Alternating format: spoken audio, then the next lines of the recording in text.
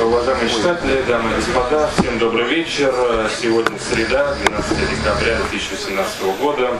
Мы с вами находимся в магазине «Библиоглобус» и начинаем презентацию новинки серии «Жизнь замечательных людей» Юстиниан. Представляю автора этой книги, книги об императоре Юстиниане, правившем византийской державе в, середине, державы в середине VI века, Сергея Дашкова. Сергей Борисович, здравствуйте. Э, давайте для начала проясним ситуацию с монетами. Что это за артефакты, откуда они у вас и почему, наконец, вы так э, щедро, я так понимаю, готовы сегодня ими поделиться. И расскажите вообще правила нашего конкурса, розыгрыша. Здесь? Да. Не, не рам- а, Должен работать. Раз, два. А, хорошо. Добрый день, уважаемые читатели. Ну, скажем, добрый день, уважаемые посетители презентации, потому что я не чую себя надежды. Я думаю, что не, не все, может быть, прочтут эту книгу, да и не всем, наверное, э, в России там история Византии э, сильно интересна, хотя вроде бы должна. Ну, спасибо вам за то, что вы на эту презентацию пришли, и я надеюсь, что вы все-таки эту книжку прочитаете рано или поздно. Э, Знаете, э, вот э, иногда хочется воспроизвести то, что уже получалось. Большое спасибо магазину Библиоглобус, потому что здесь проходит уже, наверное, третья презентация моей книги. А в этом магазине как раз так удачно продаются четыре мои книжки. Вот я надеюсь, что к к окончанию презентации тут принесут еще две и покажут. А книжка Императора Византии, наверное, есть в восьмом зале. И просто так. Я, правда, не успел проверить, когда сюда ехал. Так вот, э, первая презентация моей первой книжки была именно в Библиоглобусе. И мы думали, как ее сделать интересной и привлекательной.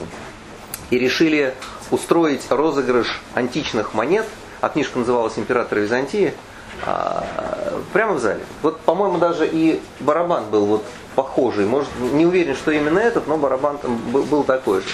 И мы, э, вы знаете, дело в том, что что такое монета? Монета это исторический артефакт, это свидетель истории. И э, иногда часто думают, что, например, монета античная это какая-то чрезвычайная редкость, которую невозможно нигде найти. Это и так, и не так.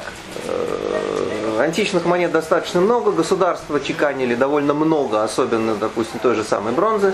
Вот. И, в общем-то, в современном мире при прозрачности границ, при том, что существует огромное количество нумизматических аукционов, существует огромное количество нумизматических магазинов, найти там подлинный античный материал не составляет большой проблемы, что я, собственно говоря, и сделал. Естественно, я не копаю сам монеты, упаси Боже, не разоряю культурные памятники. Вот, это, вот я вижу уже там некие коллеги показывают кулак, вот, те, кто знает, что это такое. Вот, но, э, ну, понимаете, факт остается фактом. Э, понимаете, вчера была презентация Точнее, позавчера мы с моим коллегом Михаилом Бутырским э, были в музее э, имени Рублева в Андроневском монастыре, и мы как раз говорили о том, что что такое вот доступ исторического артефакта, э, доступ к историческому артефакту частного лица. Это хорошо или плохо? Это благо или, или это зло? да? Как посмотреть? Вот э, опять же византийский пример. Если вы хотите найти наиболее полное собрание, допустим, византийского э, искусства, там, работы по металлу, работы по золоту, где вы это найдете? Вы это найдете в э, соборе Сан-Марко, в Сакристии Сан-Марко, э, где прекрасно представлены византийские предметы, как они там оказались. Они были вывезены рыцарями из разграб... да, они были вывезены венецианцами из разграбленного Константинополя. Но то, что осталось в Константинополе, то погибло после штурма города турками и вообще, так сказать, э, век- веков э, турецкого владычества. А то, что вывезли венецианцы, оно вот удивительным образом сохранилось. Или, допустим, э, несчастные памятники там, той же самой Сирии. Да, вот то, что вывез- вывезено в Лувр или там, то, что вывезено в Берлин, оно, в общем-то, уцелело. А вот вы знаете, что даже в самое недавнее время, в общем, памятники подверглись разграблению и уничтожению. Или, допустим, можно сколько угодно говорить плохого про там лорда Эльджина, который вывез что-то из Турции, но это сохранилось, а это, в общем-то, ну, незаконно, это, в общем-то, были вывозы. Человек платил взятки турецким чиновникам, вывозил вещи там из Парфенона и так далее. Вот. Э, ну и, соответственно, я просто приобрел легальным образом здесь, в Москве, монеты, привезенные из Запада, прежде всего э, с нумизматических слетов Западной Европы. Это, в общем, достаточно несложно. И более того, честно могу сказать, вы прекрасно понимаете, что каких-то чудовищных редкостей или там исключительного состояния здесь нет. Конечно, мы постарался... То есть все монеты подлинные, все монеты э, настоящие. Это все Юстиниан. И я постарался подобрать один и тот же номинал. Это византийский холес, ну, как бы 40 копеек того времени. То есть монету в 40 номер. Правила у нас будут такие. Я привез 24 монеты, из которых планирую разыграть половину. Почему половину? Дюжина. Да, вот привычный счет для э, несовременного человека это дюжина. Э, поэтому, а почему и двойное количество? Да чтобы просто, ну, вот, знаете, то, то, что привез, вроде бы ты и выбрал. А так выберет случай. Мы, э, я возьму 24 монеты, их запакую, они будут с э, бумажечкой, что это такое. После чего мы их опустим вот в эту прозрачную Транспарентность, прозрачность это наше все. Мы любим прозрачность. Ну, я сейчас работаю в сфере, где прозрачность это очень правильно и хорошо. Мы погрузим их сюда. Э, значит, и вот в этот лотерейный барабан будут опускаться, ну, наверное, чеки, да, мы не будем каких-то билетиков специально выписывать. Просто, если кто-то хочет принять участие в розыгрыше, берется чек на книжку императора Византии, э, извините, Юстиниан, пишите фамилию, бросаете в лотерейный барабан, пока время есть, презентация идет, вот, и, соответственно... Это уже сейчас нужно начинать делать, я так понимаю. Да, ну, у кого есть, так сказать, чек. А монеты чуть позже, да, Сергей Борисович? Да, вот можно там книжку пробить, прийти с чеком, положить в барабан, вот и все. Так вот, когда мы это делали в первый раз, мы разыграли, по-моему, но мы разыгрывали мелкую медь, мелкую медь Рима, это был 90, 1997 год, получилось так, что все, кто пришел на презентацию, все ушли с монетами, потому что пришло человек 30, они эти монеты все унесли. Вот мы мы решили, я решил повторить вот э, такую вот историю. Ну и спасибо молодой гвардии, что эту идею поддержала, потому что вещь-то необычная. Не каждый день это делать. Мы монеты не сейчас будем опускать? Э? Нет, монеты можно просто сейчас посмотреть. Вдруг кто-то скажет, я не хочу такое брать, это плохие монеты. Да, пожалуйста. Но мы их не выбираем, мы их выберет их случай. Хорошо, то есть это все потом мы их опустим в да. прозрачную. Да, вот можно посмотреть. Э, Сергей Борисович, я знаю, что вы э, выпускник Московского университета, не знаю, какой факультет э, оканчивали. Э, как вообще ваш интерес к Византии зародился? Расскажите, пожалуйста. Хорошо, я сейчас расскажу. А вот, кстати, и принесли книжки. Сколько у меня времени? Я могу долго рассказывать. Ну, до семи. До семи. До семи. Хорошо. Значит, постараюсь. Значит, если скажем так, если у нас получится решить техническую проблему и подгрузить презентацию, у нас еще будет плюс 15 минут. А если не получится, то я буду занимать ваше внимание без демонстрации слайдов. Э, случилось это так. Я действительно учился в Московском университете. Правда, я заканчивал химический факультет. Мне, в общем, не стыдно в этом признаться. Э, очень хороший факультет. Но э, всю жизнь я мечтал писать, вот, вот, вот любил писать. И даже когда-то ходил на поэтический семинар. Э, в юности вел, если не ошибаюсь, Кирилл Ковальджи. Вот я даже к нему ходил учиться. Э, и вот э, учась на химфаке и одновременно желая что-нибудь написать, я однажды проходил по главному зданию МГУ, увидел книжку, она называлась «Люди императорского Рима», как сейчас помню, она стоила 5 рублей, это было где-то году в 90-м, я даже не помню, что такое 5 рублей в 90-м году, много это или мало, ну, наверное, это что-то значило. Я ее купил на два, ну, да, и на два дня выпал из учебного процесса. То есть я не мог оторваться. А когда значит, э, оторвался, я решил посмотреть, а что было дальше, на восток. И обнаружил, что популярных книг по истории Византии нет.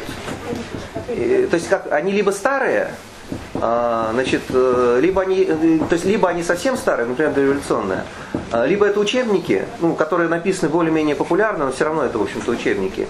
Но книжки, в которые можно было, как Федоровой, почитать в кратком виде биографию э, византийского императора, таких книг нет. Ну, были там значит, работы Диля, работы Курбатова, но все это было неполно. И я решил постараться попробовать. И, знаете, у меня получилось. Мы долго издавали первую книгу, которая называлась «Император Византии». А, ну, сначала у нас я работал в издательстве «Красная площадь» и пытался издать ее в своем издательстве. А нет ничего сложнее, чем вот в своем издательстве издать свою книжку. Знаете, вот все время ну, так сказать, вот, вот, вот так получается. Да? Ну, что, в общем, э, ну, как бы сказать, тот, кто работает в издательстве, должен в нем работать, не книжки в нем сдавать. Вот. Но мы ее, тем не менее, сдали, даже взяли кредит. Это была наша первая кредитная история, и честно его вернули. Вот, она была издана 10-тысячным тиражом. А, книжка пошла неплохо, и у меня осталось много материалов. много материала. Э, много материала у меня осталось неиспользовано, в том числе по Ирану. И то, в общем-то, параллельно со своей основной работой я вот долго-долго делал и сделал вот такую вот книжку, она называется «Царица Ариса Санида». Вот, она, кстати, есть здесь в э, салоне коллекционера. Надеюсь, сегодняшний день она там снова появится.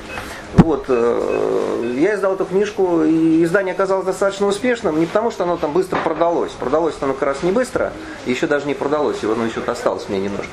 Но э, эта книжка победила в конкурсе «Книга года Ирана» в 2011 году, а это немало. Ну, русские не часто выигрывают этот конкурс, она выиграла. Несмотря на то, что я являюсь химиком и, в общем, ну, не претендовал на э, какой-то глубокий историзм. Это книжка популярная, моя задача популяризация истории. То есть я не историк сам. Это, я там что-то знаю, знаю нумизматику сасанитского Ирана, немножко знаю нумизматику Византии XI века, естественно, знаю историю, э, ну, больше, чем среднестатистический человек, но я не ученый историк. Да, вот, скорее нумизмат, это вспомогательная историческая дисциплина. Была написана эта книга. Со временем, ну, мне показалось, что надо все-таки знаете, вот любой, как вы работаете сейчас консультантом в сфере экономики, и любой консультант хочет работать поменьше, а достигать больше успехов. Вот я решил что, наверное, будет проще всего взять и издать э, обновленный вариант. И вот, знаете, мне его сложно поднять. Появился вот такой вот вариант книжки императора Византии. Мы долго работали с художником Владимиром Шишковым. Вот первую книжку я э, книга царицы Арисы Санида я тоже делал с художником Владимиром Шишковым. Вот э, самую первую книжку делал другой художник Николай Яковлевич Турбовской. Вот, а эту книжку делал Владимир Леонидович Шишков.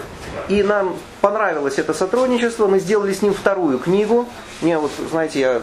А первого варианта нет у вас? Ой, у это... Нет, у меня, нет, у меня, спасибо, это самый первый, даже черный переплет. Там было два завода, не переплет, точнее черная обложка. Был э, черный...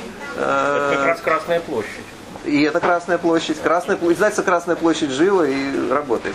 Вот я такую книжку из... Можно я покажу ее? Вот, спасибо большое. Вот из такой книги, вот это вот из такой книги появилась вот это.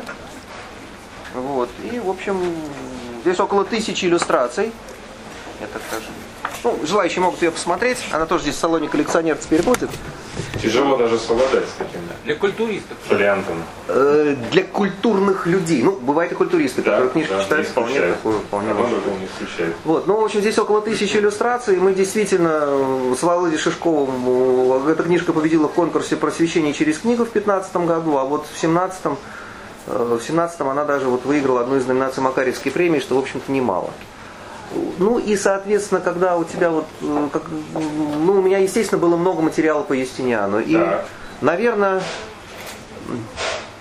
мне кажется, что я пришел с улицы. То есть я просто позвонил в издательство, сказал, вот я бы хотел бы встретиться, может быть, у меня что-то вот интересное есть. И так получилось, что издательство э, такую встречу назначило, мы поговорили с э, главным редактором. И, в общем, результатом этого явился договор. Это моя первая книжка, которую я пишу как настоящий большой писатель. Хотя вот мне уж 50 лет недавно исполнилось. Вот я э, первая книжка, которую я пишу как настоящий писатель. То есть договор, сроки, э, значит, просрочка, наказание за просрочку, э, значит, исправление ошибок и неисправленные ошибки, которых здесь достаточно много. Я их надеюсь исправить, если второе издание будет, я их вообще Ну, тут да, будем надеяться, что все впереди в этом плане. Сергей Борисович, с какими трудностями вы столкнулись при работе над биографией Юстиниана? Вы об этом частично упоминаете в предисловии книги. Вот расскажите, пожалуйста. Ну, первая трудность это недостаток времени, потому что, конечно, такую книгу надо делать дольше.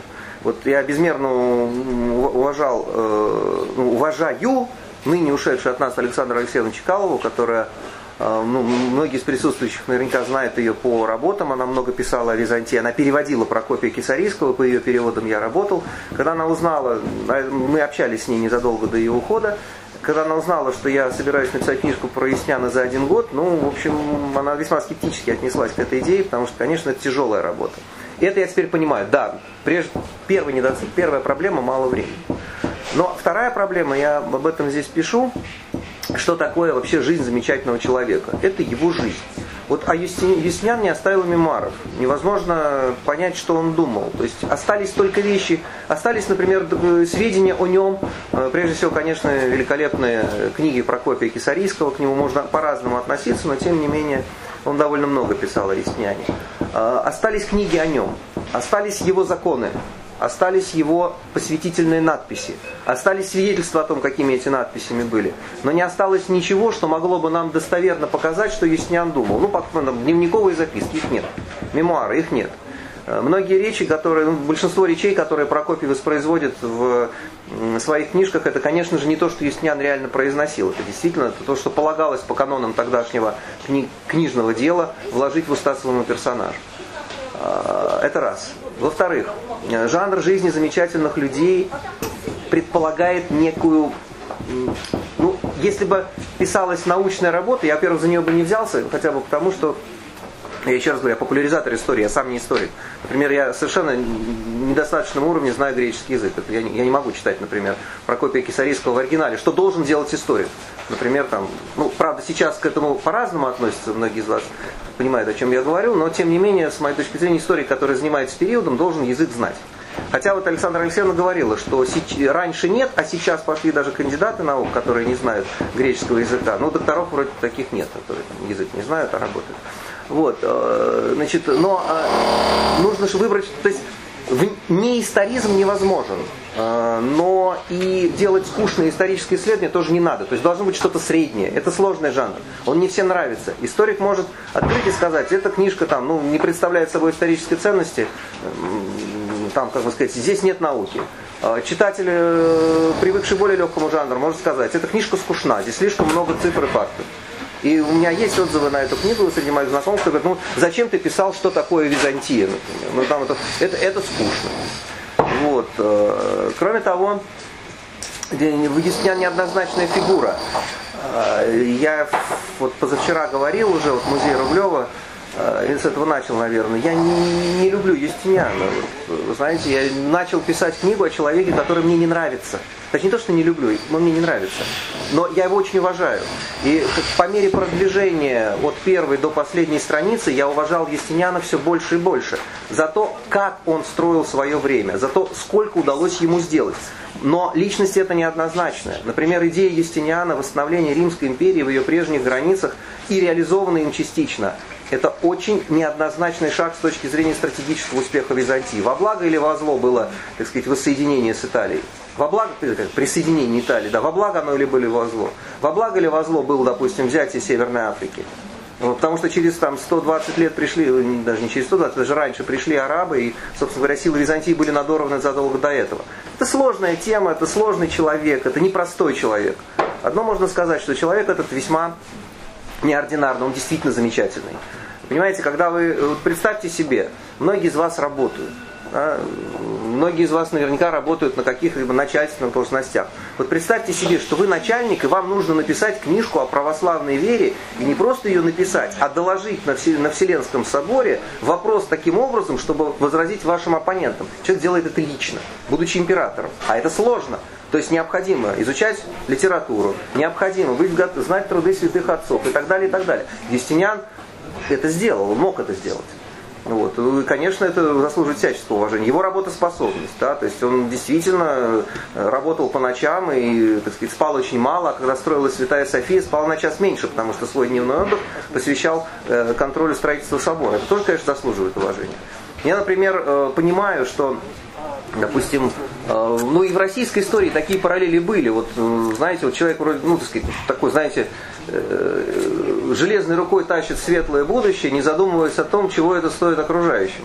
Ну, но тем не менее, там он сам старается, это не, не, не поручал это своему окружению, он сам трудился. Это очень трудолюбивый человек, он заслуживает уважения.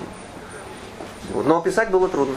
Ну и жизнь, жизнь замечательных людей, это еще одно скажу. Понимаете, вот э, я тут прочитал, я в интернете прочитал, я в интернете прочитал одного интересного блогера, который критикует жизнь замечательных людей, но он рассматривает тома жизни замечательных людей, довольно едко по ним проезжается. Я сейчас не помню, как его, я надеюсь, это вот хоть ближайший отпуск прочитать все его отзывы, мне они понравились.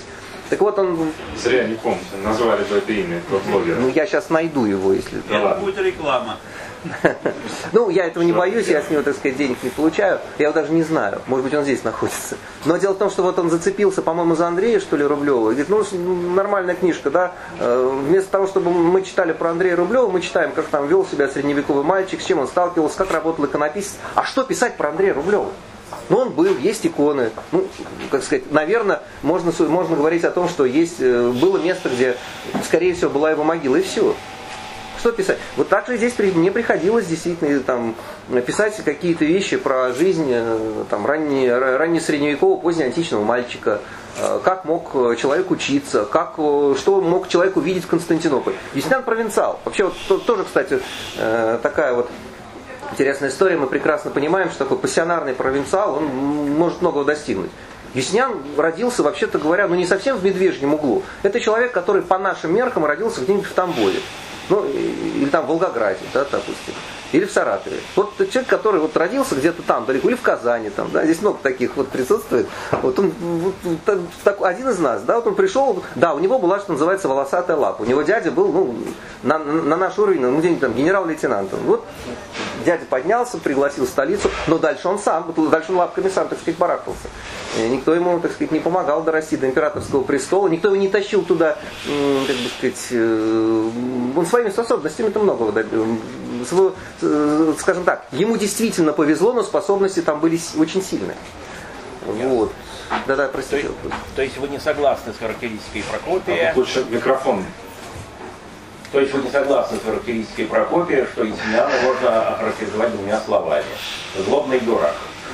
Э, я не согласен с характеристикой э, в два слова. Вот э, значит, есть такой византинист Сергей Аркадьевич Иванов. Может быть, кто-то знает его работы. Здесь наверняка продается его книжка «В поисках Константинополя» или второе ее издание, она имеет другое название, по-моему, Стамбул, я сейчас не помню, э, второе название, великолепные книги, вот тут я рекламу сделаю, великолепные книги. Э, если кто-то хочет увидеть Византию в, Константин, в Стамбуле, ему нужно купить книжку Иванова и с ней ходить по Стамбулу. Вот это будет, э, недельки за две можно будет что-то весьма много увидеть. Так вот, давая, свое, давая одно из интервью изданию «Православие и мир», он говорил о том, что вот человек, который знает греческий язык, он не любит простых вещей. Я перефразирую, конечно, то, что сказал Сергей Аркадьевич, почему он, скорее всего, не будет стараться, э, ну, сказать, ему не будут нравиться простые решения. Я вот греческого не знаю, но вот простые решения мне тоже не нравятся. Это слишком просто. Вообще, ну, злобный дурак, ну, это вот, ну, в любом Нет, даже самом... У него там целая страница. Да. Но В любом даже самом злобном дураке можно найти и добра, и ума. Э, нет, Юснян многогранная личность, она сложная, она непростая. Я еще раз хочу сказать, я, ну, мне не, мне не очень нравится этот человек, но э, он не злобный дурак. Он, безусловно, талантливый человек. Он, безусловно, человек целеустремленный. Он, безусловно, человек холодный, где-то даже жестокий, при этом очень религиозный, с любовью к Богу, с любовью к жене. Вот, не знаю, о, получится нас презентацию запустить? Нет, не знаете, не, не получится. Ага. Значит, эм, он очень любил жену. То есть это человек, который не просто любил жену, если получится пустить презентацию, я покажу некоторые вещи из иллюстративного ряда книжки и более, но э, во всяком случае Юстиниан смог сделать то, что не каждому под силу. Он э, смог жениться на женщине, которую он любил, с весьма, на женщине с весьма неоднозначной репутацией. Но согласитесь, что э, как сказать, вот представьте себе, вот если вы вдруг узнаете, что кто-то, например, взял из дома терпимости женщины и женился на ней. Вот нам на, на, сегодня, на сегодня нам это, ну, наверное, многим из вас это покажется, ну, во всяком случае, точно необычный поступок. Он это сделал. Он это сделал, э, значит, и ну, сначала ему пришлось изменить законодательство Римской империи, э, для того, чтобы он мог, э, будучи сенатором, жениться на бывшей актрисе, а потом он это сделал. Вот. И он любил Феодору, это очевидно совершенно. Он после ее смерти клялся ее именем, он так и не женился, хотя мог, естественно. Вот. Он любил Бога, это чувствуется по его работам. Вот. Но при этом он мог отправлять на смерть десятки людей и, в общем-то, делал это ежедневно, ежечасно. Бремя власти, время власти, время власти, ничего не скажешь. Но злобный дурак он, конечно, не был. Ну, вот уже был задан первый вопрос, э, уважаемые читатели. Если есть еще вопросы, давайте я с удовольствием передам посмотрел, микрофон. У меня еще вопрос был. Подождите, давайте микрофон, а то у нас ничего не слышно будет. Давайте я, я книжку просмотрел, но я, судя по всему, тут даже не упомянуто об этом самом пресловутом самом плохом годе в истории человечества, который там установили недавно. Самом плохом? Годе. 536 кажется. Установлен. Недавно был. Ну, я этого не так знаю. называемая Юстинианова мгла. Ну, то есть извержение, которое скрыло... Э, значит, плохих лет было много. Для самого Юстиниана был плохим год смерти Феодора, високосный год. А, вот, и я об этом тоже пишу. Это, это да, это есть. А, для самого, значит, для империи был, конечно, страшным периодом Юстинианова чума, а, которая привела к большим человеческим потерям. Это и э, человеческие, экономические утраты. Эм, но и хорошие годы были, наверное, для империи. Ну, например, почему бы не сказать, что... А, конечно, восстание Ника, 532 год, это очень страшное событие. Но было и хорошее, например, там, ну, наверное, кто-то радовался тому, что Рим снова стал римским. Ну, мы знаем, что э, Византийской империи это, не, такого государства не было, это Римская империя. Просто мы ее называем э, в соответствии с средневековой западноевропейской традицией Византии. А Юстиниан действительно была как парадокс. Римская империя без Рима, Рим под варварами. Вот, соответственно, э, Рим при Юстиниане снова стал на какое-то время э, римским, настоящим римским городом, как и Карфаген, как и провинции далекой Испании. Вот. Ну, было, наверное, счастье. А вот, если позволите, я хотел бы показать, а чем можно пощелкать? Или надо говорить? Надо говорить, наверное. Хорошо. Вот посмотрите, пожалуйста, я приготовил некий иллюстративный ряд. Вот такой вот красивый император, это, это, это, это неизвестно кто. Вот э, давайте мы просто поговорим про Византию немножко. Время позволяет, до 7 часов еще есть конечно. время, я надеюсь, успею. Если будут какие-то вопросы, у меня, пожалуйста, перебивайте. Народ, нас немного, ну, наверное. Нет, по монетам еще будет, смотрел. Хорошо. Вот, посмотрите, пожалуйста, вот такой типичный, не то чтобы типичный, это такой вот хороший представитель, наверное, единственный представитель бронзовой императорской скульптуры по, по, позднего Рима. Это, кстати, тоже по поводу того, хорошо или плохо, когда культурная ценность кто-то похищает и тащит себе в частное владение. А, дело в том, что когда Константинополь был взят э, латининами после четвертого крестового, в результате четвертого крестового похода, венецианцы, ну, латинские короли переправили, переплавили многие бронзовые статуи в монеты, а венецианцы были люди богатые, не глупые, и они кое-что увезли. Вот в частности, вот эта скульптура дошла до нашего времени только потому, что ее в свое время украли венецианцы. Они не довезли ее до Э, своего, куда хотели, в общем, они утопили ее, ну, видимо, венецианцы, скорее всего, венецианцы, они утопили ее, э, значит, э, неподалеку от берегов Италии, и вот в средние века ее подняли, правда, конечно, использовали, руки, ноги были использованы на колокола и пушки, а тело все-таки дошло до нашего времени, потом руки, ноги восстановили, но это не оригинальные руки, ноги. Но в целом скульптура вот императора, вот, вот посмотрите, олицетворение императорской власти, он очень мощен. Если человек встанет рядом с этой скульптурой, он будет ему по коленку, ну чуть-чуть выше коленки, скажем так. Вот женщина, ну, наверное, среднего. Вот я, например, скорее всего, достану ему, подняв руку, достану, наверное, до пупка. Вот, где-то, вот это очень большая скульптура, она там 4,5 метра, занимает колосс из Барлета. Вот не, непонятно, кто это, то ли это Валентиниан I, то ли это Валент, то ли это Ираклий, как э, думают жители Барлеты. Может быть, это Юстиниан, мог быть, не знаю. Вот посмотрите, вот такой вот император. Может, следующий слайд. Вот. А самого Юстиниана каких-то вот скульптурных изображений в полный рост не дошло. Вот то, что мы сейчас видим, это Э, то, что стоит э, около берега речки Вардар, это Скопье, Республика Македония, которая сейчас, по-моему, будет называться иначе, бывшая греческая республика Македония и так далее. Вот, вот у нас такой вот, ну, для них вообще-то любой, кто в Македонии побывал, македонец, поэтому Александр Македонский македонец, э, по названию Яснян македонец, царь Семен Болгарский македонец, и там сотни, наверное, людей Скопье просто уставлен скульптурами исторических личностей, которые как-то побывали в Македонии.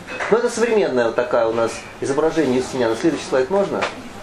А вот э, в реальной жизни то место, где Юснян родился, если правда, что действительно две деревушки, Таор и Бадар, являются, находящиеся в нескольких километрах от Скопья, и являются теми самыми Таурисиями и Бедрианами, о которых писал Прокопий, это довольно скромное место. Вот э, вы туда приходите, и вот вас вместо туристов, которые должны были, по идее, ехать, ехать на родину Юсняна, вас встречают такие милые козочки, вот я их как сфотографировал, козье стадо. Вот там написано Таор, указательный на Таор. Следующий слайд можно?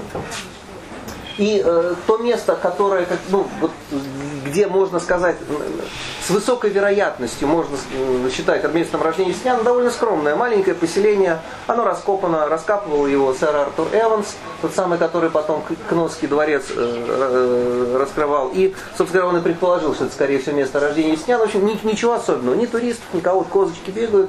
Э, там вообще людей нет, рядом кладбище, все очень грустно.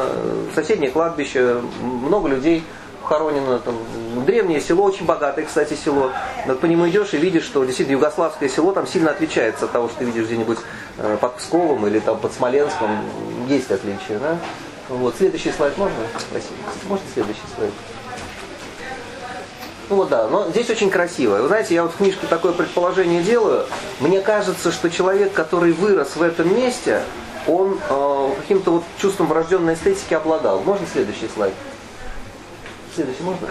Смотрите, как там красиво. Да? То есть вот человек, который это видел каждый день, он вообще должен был уметь видеть красивое. И вот я совершенно не удивляюсь тому, что Юснян захотел построить Святую Софию именно такой. Вот эти объемы, следующий слайд можно? Ой, извините, я тут э, хулиганил немножко. Да, 18, 18 лет 7 есть. Кому нет, глаза закрывайте. Да. Дальше, да. Вот смотрите, а это тоже, это, если э, Бадар, это есть те самые Бедерианы, где жил дядя Юстиняна Юстин, ставший сначала военачальником, а затем императором. Ну, Юстиняну до Юстина было идти километров 8 пешком. И вот по таким тоже очень красивым, э, по такой красивой местности. Это речка Пчинья, которая течет около нынешнего села Бадар. А? Следующий слайд, пожалуйста. Вот. Значит, Юстиниан построил, и Прокопий об этом пишет, Юстиниан отстроил близ места своего рождения город Юстиниана Прима.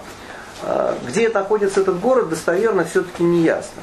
Но историки сошлись во мнении, что, скорее всего, это Царичинград, городище, близ э, города Лесковац, Э, это окрестности Ниша в Сербии. Вот э, историки пишут неподалеку, но вот честно могу сказать, на автобусе это где-то 4, там, больше 4 часов на автобусе. То есть это такое относительно недалеко. То есть на карте... Недалеко, относительно недалеко. Да, на, на, на, на карте, значит, это совсем рядом. Если взять, допустим, карту мира современную и посмотреть, это рядом. А если вот так вот лично проехать, я, например, от... Э, Э, по-моему, там городок Лебана рядом, тут есть Лесковац, от Лесковаца до Лебана. Вот я от Лебана шел два часа пешком, и мне не показалось, что это недалеко.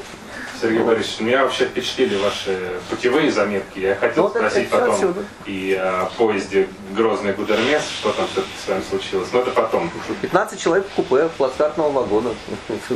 Советское время. Вот. И билеты были только у четверых. Все нормально. Можно следующий? Вот, смотрите, вот это Юстиниана Прима, да? Если действительно Царичинград это Юстиниана Прима, это последний город, который в Европе строился по плану. То есть, когда э, утверждался план города, когда планировалось все вместе сразу, общественные сооружения, частные здания, прямые улицы, э, там рыночная площадь, храм, уже время позднее античное, вот такие вот развалины.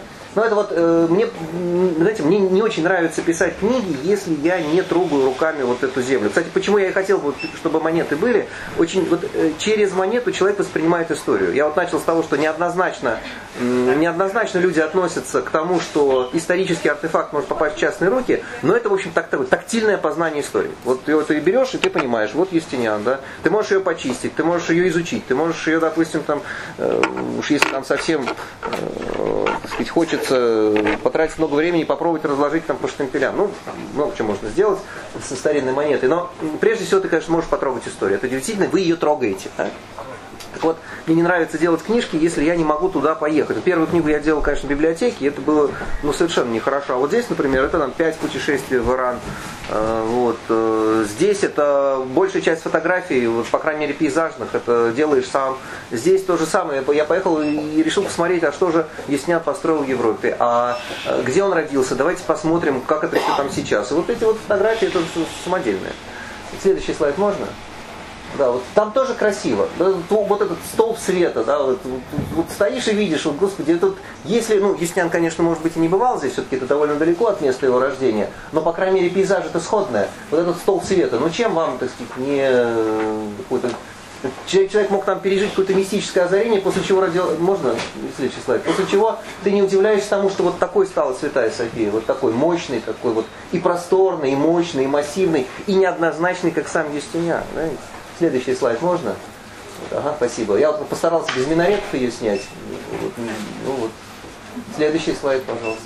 Вот меня совершенно не удивляет, что человек, родившийся в том месте, вот понимал, что надо строить такие храмы. Следующий слайд, пожалуйста. Это притвор собора. Следующий. Ну вот с этой мозаики я начинаю. Это, конечно, в книжке немножко похулиганил. А, дело в том, что вот с мозаики Святой Софии они дошли до нашего времени благодаря нескольким людям. Да? Во-первых, они дошли благодаря, наверное, все-таки какой-то вот, ну, неорганизованности э, тех, кто должен в эти мозаики каким-то образом закрыть и уничтожить. Их все-таки закрыли, но не уничтожили. Потом в середине 19 века в Константинополь прибыли архитекторы братьев Фассати. Они были присланы туда э, по просьбе э, турецкого султана, их прислал Николай, швейцарские архитекторы, братья Фассати, и они провели ремонт Святой Софии, которая в тот момент, в общем-то, разваливалась. И э, многие из мозаик они открыли и закрыли снова, замазали штукатуркой. Можно по-разному к этому относиться, но они их спасли.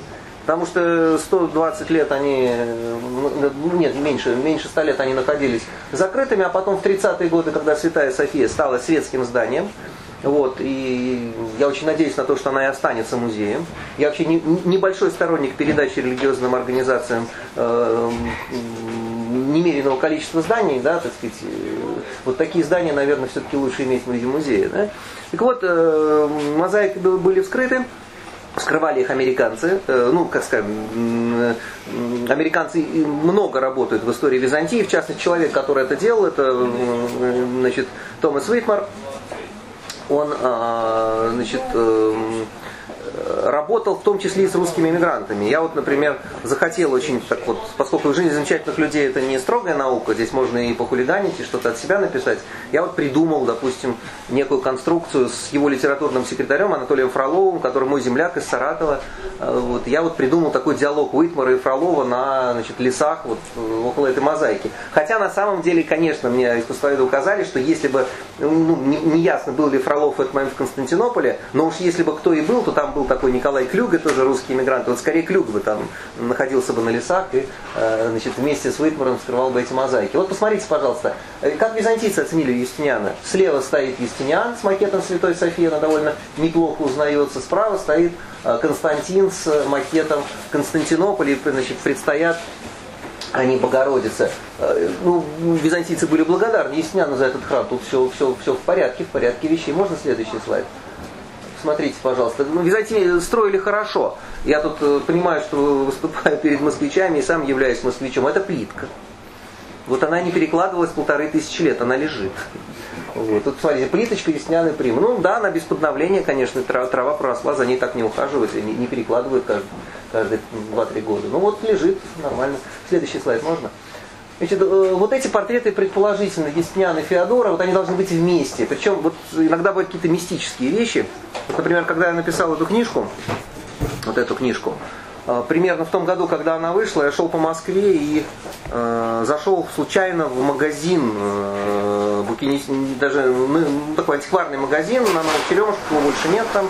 Э, вот, и сейчас я просто хочу посмотреть, не задерживаем ли мы там до сих Вот, и э, мне случайным образом достался, например, э, сборник, посвященный памяти академика Бартольда, не память, извините, в честь академика Бартольда, он тогда еще здравствовал.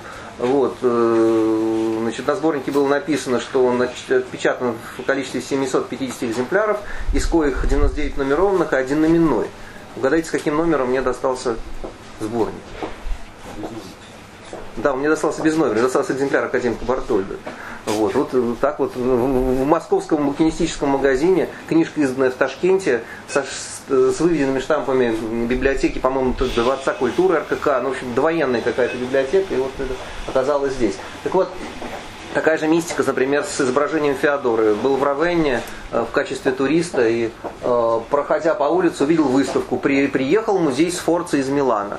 Ну, зашел к этой маленькой экспозиции, среди э, экспозиции стоит голова Феодоры. На всякий случай сфотографирую. Вот через там, 10-15 лет случай представился, это стало иллюстрацией книги. Хотя вот в Милане я так и не побывал в этом музее. Следующий слайд, пожалуйста. Вот посмотрите, пожалуйста. Вот еще одно изображение Юстиниана. Это опять же, кстати, к вопросу о том, плохо или хорошо в частных руках иметь артефакт. Вот этот артефакт лежал в музее. Монета в 36 солидов. Это примерно 165, 167 грамм, э, граммов золота. Ну, ее украли из музея и, в общем, переплавили. Копия осталась, слава богу. Следующий слайд. Вот посмотрите, пожалуйста, еще изображение Юстиниана. Я знаю, что вы... Это, это известнейшее изображение Юстиниана. Вот известней просто нету, даже вот на обложке оно есть. Э, но мне очень хотелось сфотографировать их вот вживую. Вот не так, как их делают. Профессиональная съемка, абсолютно ровно, вот все, так сказать, э, квадратиком. Да, вот как это реально выглядит. Вот это окно светит от Юстиниана на Феодору, она будет на следующей стене. Можно следующий слайд? А вот Феодора окно светит на Юстиниана. Они друг на друга смотрят и друг на друга светят. Очень, очень такой вот хороший ход. Э, и так вот, люди, вот, они уже по жизни были вместе, они вот после смерти вместе, вот так вот в церкви. Могилы ведь не осталось, ни Ясняна, ни Феодора, никто не знает, где они лежат. Э, собор святых апостолов разрушен в 15 столетии. Э, саркофаги растащили на постройки. Часть саркофагов, если кто увидит, Э, посмотрите, будете в Стамбуле, во дворе археологического музея стоят несколько саркофагов. Их, в общем-то, атрибутировали, насколько достоверно, вопрос спорный. Но вот примерно в таком, то есть понятно, в каком саркофаге был Юстиниан, но непонятно, где этот саркофаг. Может быть, один из них есть, может быть, нет. Следующий слайд можно? Вот, и вообще вот идея запечатлить себя в соборе, она такая древняя. Вот посмотрите, пожалуйста, но чем выше человек по властной лестнице, тем проще ему, естественно, делать. Вот, пожалуйста, монограмма Феодора Василиса. Их много монограмм в соборах Святой Софии в Константинополе. Фотографии не передает изящество капители, там прекрасная работа, ажурная резьба по мрамору, в несколько слоев, это вообще чудо какое-то. Вот Феодора Василиса, следующий можно? Значит, это Юстиниан Август, это его монограмма, много таких колонн тоже. Вот. И вообще Юстиниан, конечно, ну, средневековый человек себя в храме должен был запечатлеть. Была надпись посвятительная на алтаре от э, Юстиниана и Феодора, посвященная им. Следующий слайд можно, пожалуйста? Ну, видите, э, вот э, в соборе святого Сергия Вака сейчас это мечеть. Вот в отличие от Святой Софии, которая музей, э, собор Сергия Вака мечеть. Но надпись осталась. Турки ее не уничтожили, она как была, так и есть. Это тоже такая длинная-длинная надпись, посвященная Юстиану Феодору. В книжке у Сергея Аркадьевича Иванова «В поисках Константинополя» она как раз приведена с переводом, можно почитать. Вот. Ну вот буквы вот такого примерно размера. Вот. Это, это вот фотография нельзя масштабировать человеком. Буквы примерно вот, ну, сколько, полметра они высотой. Вот, серьезная надпись, там несколько сотен знаков. Следующий слайд, пожалуйста. Ну вот, э, видите, а когда Юстиниан построил собор, можно было и другим людям себя запечатлеть. Вот посмотрите, уже, наверное, где-то, сколько, с 14 века у нас сколько времени прошло? 700 лет получается. 700 лет Матфей Поп Галический в намоленном месте. Вот он расписался, и вот мы до сих пор можем прийти и увидеть надписи. Да, кстати, таких граффити в соборе Святой Софии, построенных Юстинианом, очень много. То есть он и себе, так сказать, себя восславил, и другим дал возможность. Ну, и только, пожалуйста, не делайте такого сейчас, да, это не надо такое делать. Хотя, кстати, я вот, честно говоря, ну, надеюсь, никто не будет. Я попробовал так вот пальцем повернуть. Этот мрамор не процарапать. Это надо очень постараться. Человек подготовился, принес, поработал. Следующий слайд, пожалуйста. Вот, вот посмотрите, пожалуйста, к сожалению, не дошло до нас. Э, была гигантская конная статуя Ясняна. Она осталась в описаниях историков, но до нас она не дошла. Но на рисунках европейских путешественников э, средневековых и на русских иконах э, в византийском временнике, по-моему, в начале 60-х годов была даже специальная статья на эту тему. Есть изображение Юстиниановой статуи. Она стояла на площади Августиона около собора Святой Софии.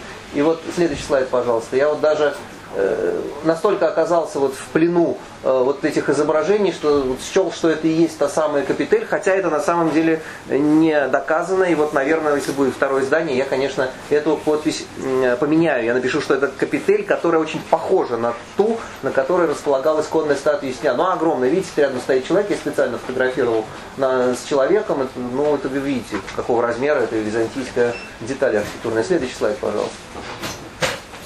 Ну, а вот, собственно говоря, дальше можно листать их достаточно быстро. Я просто хотел показать, какие бывали монеты Юстиниана. Вот это солид золотой, это серебряное, ну никто не знает, он точно называется, мы будем считать Селиква, Карфаген, это фолис Ясняна э, Константинополя до 12 -го года правления. Разыгрываться они и будут в основном. Это начиная с 12 -го года правления у него изменился монетный тип, монетный тип ФАС. Вот такие красивые монеты довольно большие, тяжелые. Следующие. Следующие. Ну вот Антиохия Юстиниан восседает на троне. Один из вариантов. Вот это город Рим. Монета отличается. Следующий слайд. Ну и вот, собственно говоря, вы знаете, вот Юстиниана нет, а дело его, что называется, живет. Вы можете прийти в Константинополь не только подняться, что называется, к Богу, да, и посмотреть его дом, собор Святой Софии. Можете опуститься вниз. Вот это, например, цистерна для жителей города построена по приказу Естиниана. Это сейчас Вербиндерек, по-моему, музей называется. Там можно зайти, купить билеты. Вот. И не только человеку хорошо в Веснянах построить. Последний слайд мне нравится. Э, последний слайд. Вот рыбки плавают, они тоже вот в этой цистерне плавают. И тоже, тоже радуются тому, что Веснян сделал. Они там живут. Вот, вот, наверное, Спасибо, Сергей Борисович. Уважаемые читатели, наверняка созрели какие-то вопросы, мнения, реплики, комментарии. С удовольствием передам микрофон, и можно будет задать автору. Если желающий рон, барабан пустой, сейчас вот можно барабан чеки подписать. Пустой, но надеюсь, что да. пока. Я говорю, на монетах а, на одних звезда, Сергей на других полумесяц, на третьих крест. Да, давайте. Давайте микрофон. Буква Р на монетах вот у вас не 40 нумет, это номинал, 40. 40 копеек. Сергей Борисович, ну тогда у меня будет вопрос э, глобальный, банальный, но вечно актуальный о ваших творческих планах. Э, какие еще замыслы, над чем сейчас работаете? Ну, скажем так, если говорить честно, то мои творческие планы это э, завершить удачно те проекты, которые я сейчас начал как консультант как руководитель ну, в своих кругах известной консалтинговой компании, потому что мы сейчас имеем несколько серьезных проектов по описанию бизнес-процессов закупок. Вот я буду честно говорить, это а мои а важнейшие творческие планы. О творческих а, планах поговорить. Ну, я буду очень рад, если издательство «Молодая гвардия» переиздаст еще, еще одним изданием «Императоров Византии». Я считаю, что сокращенный вариант был бы очень полезен нашему читателю. Все-таки книжка устарела, вот первое издание устарело. Выходило еще одно, второе оно уже закончилось, ну, мне кажется, это... А это тоже надо делать, она просто так автоматически не появится. Ну, и, вы знаете, говорят, вот не надо говорить о творческих планах, то можно э, их и не выполнить. Ну, ну, скажем так, я вот хотел бы попробовать себя в художественной прозе, в исторической, но, не знаю, времени не хватает, времени бы побольше. Это наша проблема для всех. Меня очень, интересует, меня очень интересует Византия эпохи упадка.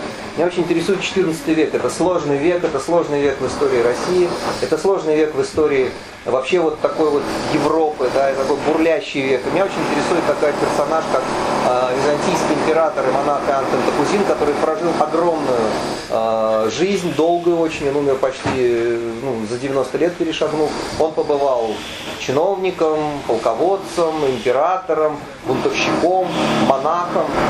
Ну и вот очень меня человек интересует, может быть, что-нибудь я про него напишу.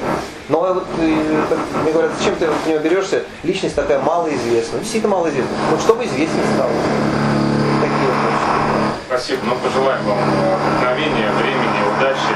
Уважаемые читатели, ну, давайте поаплодируем Сергею Борисовичу за свой интересный рассказ.